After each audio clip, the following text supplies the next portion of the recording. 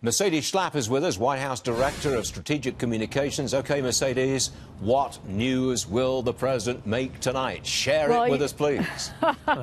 well, let the president uh, give his address tonight. Uh, you know, we know, Stuart, that he's going to be presenting the case to the American people as to why we need to secure the border, why there is a growing humanitarian and national security crisis, and that we can't continue to move forward with a status quo approach at the border border? Well, he's going to need support um, from, from, from the Senate, from both sides of the aisle. He, he's going to need support. Will he make any concessions of any kind to win that support and appear reasonable?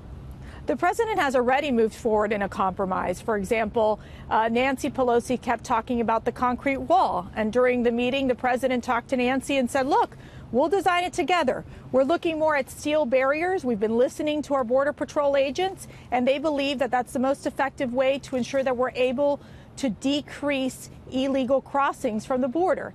And so, in essence, the president has been wanting to negotiate it. It's why he stayed over Christmas here and sent over a good faith offer to the Democrats. In fact, we sent over a budget request that included specific items that the Democrats requested, including humanitarian assistance at the border and as well as uh, counter narcotics technology. There, and the Democrats, Stuart, refuse to negotiate. They refuse to come to the table while the president is here ready to make a deal. So it's a political question, is it? Who wins?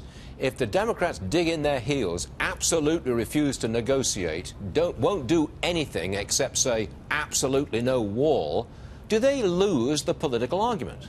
Look, I, I, think for the president, he's very passionate about this issue. He sees the suffering that's happening not only to those vulnerable families who are take, taking this dangerous journey where you've seen children being smuggled, women being uh, basically human trafficked here in, in this in, at the border.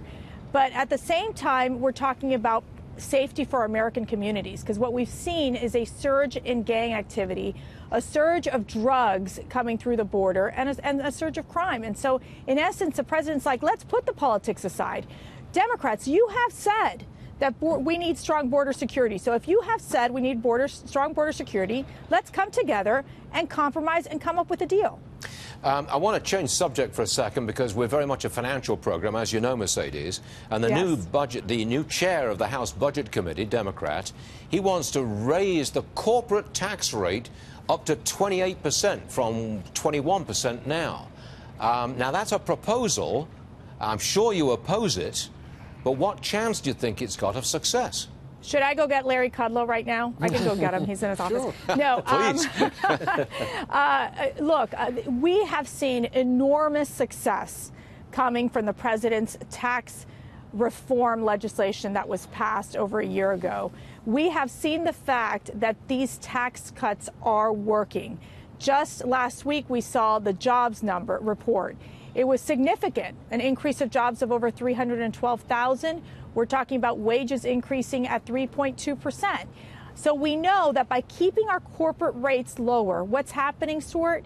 Corporations are investing in America. They're coming back. We're open for business. And going into that direction of not only increasing corporate rates, but also accepting the radical ideas of the far left, for example, increasing tax rates to 70 percent talk about what would cause a drag, a huge drag in the economy, and the inability of America to stay in such a strong economic position that we're seeing right now. Don't worry, Mercedes, it won't get through the Senate. Mercedes Schlapp, everyone, right there at the White House. I'm sure you'll be there tonight as well. And thanks for joining us this morning, Mercedes. Appreciate it. Thank you.